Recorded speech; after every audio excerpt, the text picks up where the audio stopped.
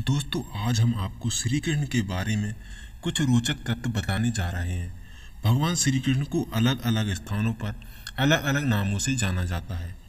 दोस्तों, उत्तर प्रदेश में कृष्ण या गोपाल, गोविंद इत्यादि नामों से जानते हैं। राजस्थान में श्रीनाथ जी या ठाकुर जग के नाम से जानते हैं। महाराष्ट्र में विट्ठल के नाम से भगवान जाने जाते हैं। उड़ीसा में जगन्नाथ के नाम से जाने जाते हैं।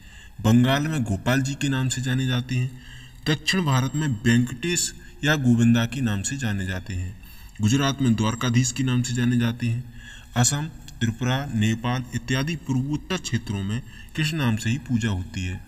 Malaysia, Indonesia, America, England, France इत्यादि देशों में कृष्ण नाम ही विख्यात है? गोविंद या गोपाल में गो शब्द का अर्थ गाय एवं इंद्रियों दोनों से है।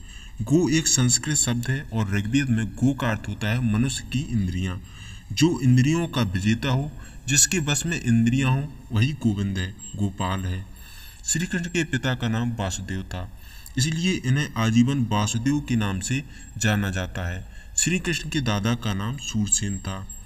श्री कृष्ण का जन्म उत्तर प्रदेश की मथुरा जनपद की राजा कंस की जेल में हुआ था। श्री कृष्ण के भाई बलराम थे, लेकिन उद्धव और अंगिरस उनके चचेरे भाई थे।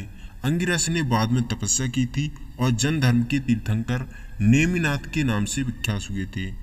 श्री कृष्ण ने सोलह हज़ार राजकुमारियों को असम के राजा नरकासुर की कारागार से मुक्त कराया था और उन राजकुमारियों की आत्महत्या करने से रोकने के लिए मजबूरी में उनके सम्मान हेतु उनसे विवाह किया था, क्योंकि उस युग में हरण की हुई स्त्रियाँ अछूत समझी जाती थीं और समाज उन स्त्रियों को अपनाता नहीं था।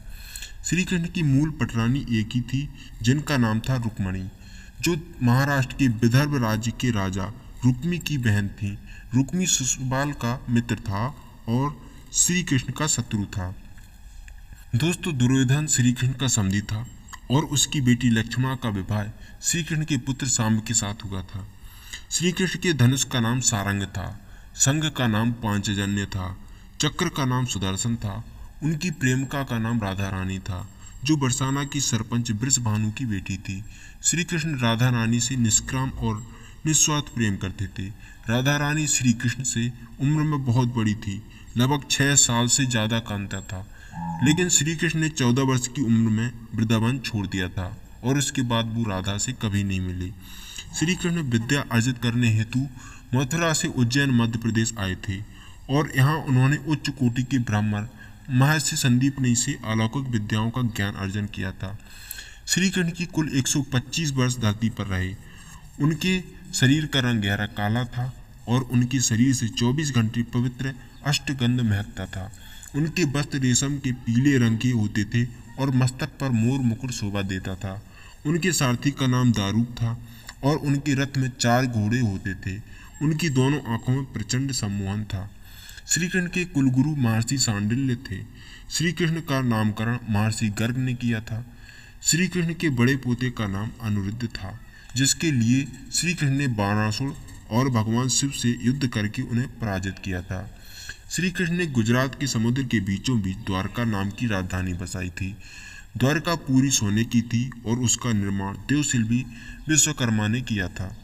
श्री कृष्ण को जरा नाम की शिकारी का बाण उनके पैर के अंगूठे में लगा वो शिकारी पूर्व जन्म की बाली था। बाण लगने के पश्चात भगवान स्वलोक धाम गमन कर गए। श्री कृष्ण ने हरियाणा के कुरुक्षेत्र में अर्जुन को पवित्र गीता का ज्ञान रविवार शुक्ल पक्ष एकादशमी के दिन मात्र 45 मिनट में दे दिया था।